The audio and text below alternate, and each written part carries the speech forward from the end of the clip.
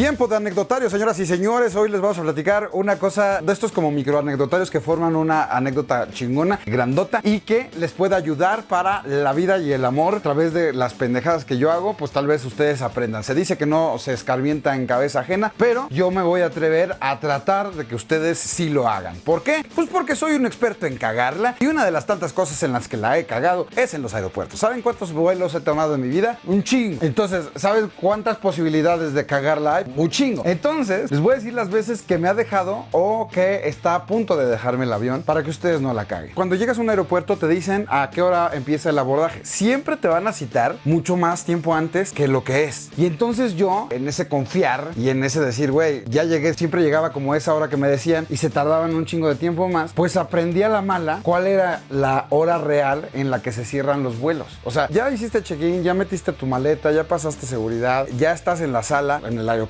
como tal, digamos, y entonces pues de repente quieres echarte un café, desayunar, comer, lo que tú quieras, pendejear, o estás en la sala, si te tocó una sala VIP, pues chido, si te tocó ir a un restaurante, pues ahí estás. Y entonces, ¿en qué momento te vas para la sala de abordar? Casi siempre me he fijado que te citan en el boleto, te dice como una hora antes, 50 minutos antes. Entonces yo, como se los digo, llegaba y se tardaba más y empecé yo a como calcularle más o menos a qué hora ya iban a empezar a, a abordar y un día pues tenía que pasar y la cagué. Llegué literalmente 29 minutos antes de que fuera como la hora de despegue. Estaba, haz de cuenta, a las 8 de la mañana, ¿no? A las 8 de la mañana decía que partía. Bueno, llegué a las 7.31 a la puerta. Y de repente ya no veo gente y ya llego, no, ya se cerró el vuelo. Pero no mames, es a las 8 de la mañana. No, se cierra media hora antes. A veces que nos tardamos más y pues te tendrá suerte o no. Pero ahí está el avión, güey, déjame subirme. No, se cierra media hora antes. Pero son 29 minutos. Muy bien, media hora antes. O sea, yo digo, te chingan, ¿no, güey? Porque eh, eh, les afecta también a ellos. Porque tienen que hablarle para que bajen tu maleta. Porque obviamente por seguridad, pues a lo mejor alguien puede mm, hacer las maletas y quién sabe qué le metió y no te sube al avión, ¿me explico? Entonces, bueno, en este caso que, que- que yo era el tipo, pues yo sé que no estoy haciendo nada malo. Pero eh, al contrario, yo quería subirme, cabrón. Y entonces ahí aprendí que al minuto 29 antes de faltar ya es demasiado tarde. Entonces, así fue en esa ocasión. Me dejó el avión, güey. No me dejó subirme la persona porque eran 29 minutos y no 30. Y entonces, de ese momento hasta la fecha, pues ya, güey, corro como loco. Nos ha pasado mil veces. Aparte, no nada más a mí, sino arrastro a todos mis compañeritos. porque, no, espérense tantito, vamos a ver, este, vamos a desayunar a gusto, no sé qué. Ah, pues ya son, ya, pues yo creo que ya. Sí, yo le calculo y ya vamos caminando de repente. Última llamada para los pasajeros: Alejandro Montiel Gutiérrez, Jorge Alberto García. Vamos así como, se nos quedó Kevin.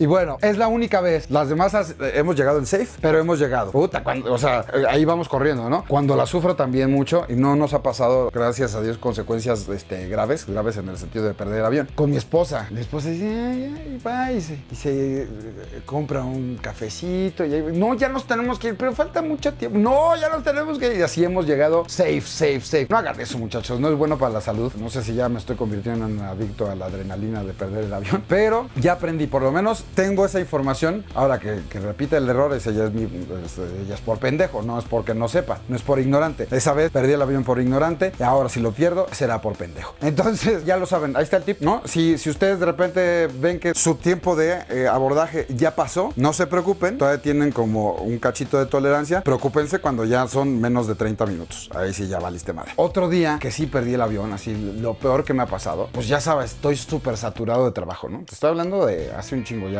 Fui a Singapur, o sea, no era aquí, era en Singapur. Y entonces estaba con Luca, nada más tenía Luca, de, mi hijo mayor, cuando estaba chiquito, no sé, habrá tenido él como tres años, güey, no sé. Estaba jugando con él, güey, así como que, aparte, se sentía extraño porque yo siempre estoy saturado de cosas y de repente llegó la tarde y me pongo a jugar con mi hijo y no tenía nada que hacer. Y entonces jugaba, pero como era Singapur, los horarios cambian. Y entonces, yo la última vez que vi el boleto, decías de cuenta que viernes 28 llegas a Singapur. Viernes 28 llegas a Singapur. Ya, ok, chido, viernes 28. Entonces yo el jueves aquí. Y de repente me mandaron un mensaje, un amigo que iba. Ah, creo que Esteban Macías. Me manda un mensaje. ¿Qué onda, Monty? ¿Dónde estás? Pues aquí en mi casa. Antes de, o sea, estaba pensando contestarle eso y ya sabes, güey, sudor frío. Y me puso a revisar. No mames. Era ahorita, güey. Haz de cuenta que yo estaba en mi casa a las 5 de la tarde y el avión salía a las 5 y media o 5.45. Una cosa así, 5.45, pónganlo. Y entonces ya reviso y era jueves 27 para llegar el viernes 28, güey. Y entonces yo me quedé con el viernes 28 y yo pensé que salía hasta el viernes, cabrón. Entonces se me hizo un desmadre. no tenía maleta. Iba a Singapur, ¿cuántos días, güey? Iba a hacer como tres películas. Iba a ser Ghostbusters, Los Siete Magníficos y Inferno. Iba a hacer esas tres películas. Iba a entrevistar a Tom Hanks, iba a entrevistar a Ron Howard. Iba a... Yo así, no mames, muevo todo y he hecho las cosas a la maleta. Un desmadre, güey. Y así la adrenalina, ya sabes, de esas veces que quieres hasta llorar, güey, ¿no? O sea, porque dices, no mames, soy un pendejas. Porque, a ver, como quiera, que no es cosa menor, si vas a Los Ángeles, pues te compras otro vuelo, güey, ¿no? Y te va a costar una lanita, pero pues no tanta. Vete a Singapur, cabrón. No mames. Entonces, eh, al mismo tiempo yo hablando por teléfono y entonces ya me decía la, señorita este, del avión, este, del call center, güey, ya no vas a llegar. O sea, aunque no registraras maleta, no vas a llegar. Entonces vamos a ver cómo te puedo este, cambiar y entonces no sé si tengo que cobrar algo. El punto es que sí me terminó cobrando algo porque iba de México a San Francisco y de San Francisco a Singapur. Entonces había un espacio de, conexión. Entonces sí alcanzaba a llegar a San Francisco para agarrar la conexión y ya irme a, Singapur. Entonces, pues bueno, eh, digamos que eh, fue una cagada, pero se alcanzó a rescatar la mitad, ¿no? Entonces ya me cambió el vuelo y ya me arregló otra vez las conexiones y pude llegar a San Francisco y ya pude llegar a Singapur. Pero tuve que gastar en ese cambio de vuelo, ese cambio de ruta o de horario, como se le quiera llamar, para poder llegar. Pero sí fue como de esas veces que, pues de esas primeras veces que, decía, güey, necesito concentrar más, güey, porque sí me pasaba de repente muy seguido que se me olvidaba alguna cita, o sea, no se me olvidaba, simplemente era tal cantidad de, cosas, no, sí se me olvidaba, güey, ¿por qué me hago pendejo? Porque era tal cantidad de cosas y de compromisos que tenía que ya se me saturaba, entonces ya eh, yo empecé a, tener este, más organización y también un equipo que me tratara de ir diciendo, güey, recuerda que tienes tal cosa, recuerda que tienes, y, y lo fui apuntando todo, si ven mi calendario es así, güey, apunto absolutamente todos los días que se tiene que publicar tal video y que tengo que hacer una llamada telefónica y que tengo que grabar y que tengo que ir a una cita y que tengo que hacer una entrevista, ya pude hacerlo porque esa mala experiencia me ayudó a este, entender que, que no puedo confiar en mi memoria, güey. Como niño chiquito, cabrón. O sea, mi papá me decía, güey, ¿no? Siempre me decía mi papá, hijo, apúntale. Papá, ya, yo sí me acuerdo. Y a ver, trae una pluma así, puta, ¿cómo me cagabas, papi? Perdón que te lo diga. Así me decía, trae una pluma, trae un papel. Puta madre, no había celulares, ¿no? A ver, apúntale. Ta madre. Sí, papá, sí. Porque yo me confiaba mucho en mi memoria. Tengo buena memoria, pero no memoria perfecta. Y entonces, pues ya recordé esas lecciones de mi papá. Y entonces dije, güey, tengo que apuntar absolutamente todo. ¿Qué razón tenías, papá? Mi papá es súper estructurado y súper formal. Pero de que tiene como todo controlado y todo metódico, eso sí. Otra cosa que me pasó alguna vez, que se me juntaron los vuelos, o sea, me juntaron dos viajes, ¿no? Y entonces ya tenía como eh, para irme, haz de cuenta, el martes y regresar el viernes, pero me pide alguien que llegue antes y entonces digo, ok, pues cómprame el vuelo de lunes. Yo ya tengo el vuelo de regreso del viernes y entonces me compran el de lunes y entonces como no me subo a este, me subo al de lunes y ya cuando me quiero regresar en el del viernes, no. Si no agarraste este de ida, se cancela. Tienes que avisar y también te van a cobrar una lana. Tienes que avisar que cambias tu itinerario porque no vas a tomar el de ida y entonces el de regreso eh, se cancela automáticamente si no avisas y ya avisando pues te dirán, ah bueno, ok joven, pero le cuesta tanto. Entonces eso es un desmadre, lo vas aprendiendo a la mala, ¿no? Entonces este,